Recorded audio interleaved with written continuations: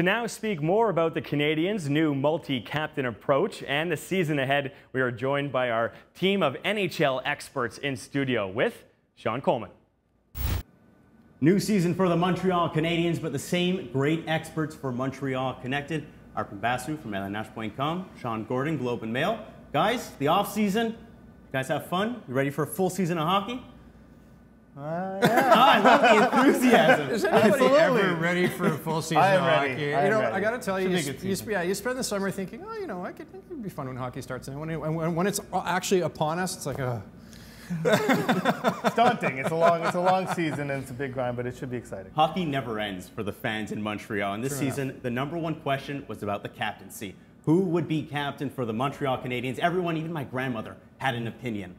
Today, what did she or, think? Uh, she's not PK Subban. That was the answer. but this week, uh, Habs announcing four assistant captains. What are your thoughts on the matter?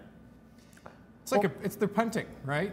A little bit, yeah. It's like they're pinned they're pinned down in their own end, and they're standing on the goal line and they're punting. I think they, you know it sort of seems to me that there would have been lots of room to make even a even a tame, boring choice mm-hmm. would have been better than a kind of non-choice.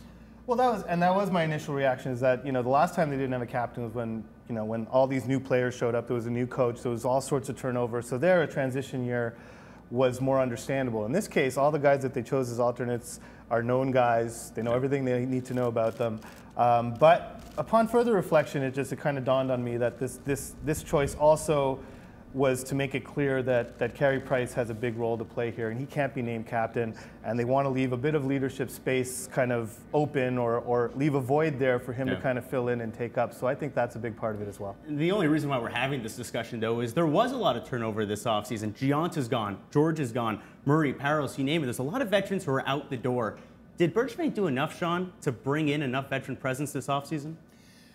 I think you probably did, and I think when you consider the optics of the situation, it, it you know, I, I guess you kind of have to take them at their word, where they say we we do want to transition to a younger leadership group. Now, why would you transition when you're getting rid of your captain and you're getting rid of your assistant captain? And like, is there time not now? It mm-hmm. sort of strikes me as very odd. This being said, it makes sense for a go slow approach. It makes sense for a conservative organization. And when you look at the guys that they brought in, Manny Malhotra uh, at the golf tournament, we were kind of joking that he's like, he's Mike Cammalleri is probably the best quote in the National Hockey League. Uh, and then you had you had like uh, Frankie Bouillon, who might or may not be with the team, or you had Danny Briere, who is also an excellent quote. Manny Malhotra has all those guys rolled into one because he's bilingual, and plus he can take a faceoff or two, which kind of helps.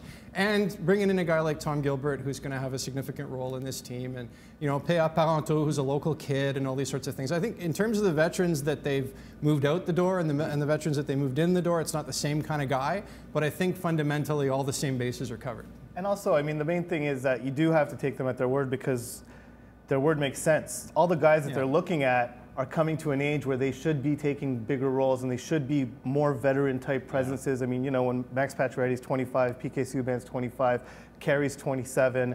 Um, so some of those guys are reaching ages where they should legitimately be looked upon to be leaders on the team. Well, one guy I think all fans want to see step up to that next level is Alex Galchenyuk. This week, Bergevin is saying Galchenyuk's going to start training camp at center.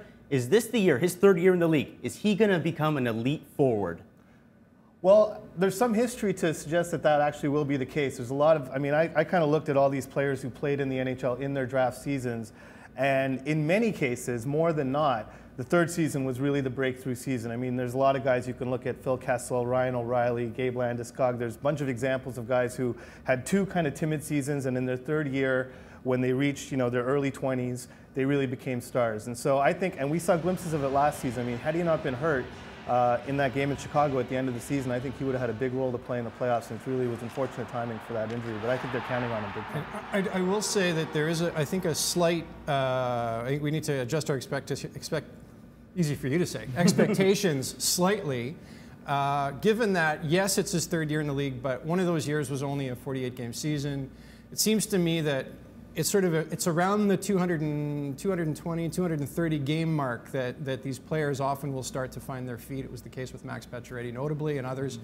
Uh, one thing though is that he is absolutely an elite talent and he's not a power player a la Nathan MacKinnon or guys like that who might have a little bit easier time establishing their game with men.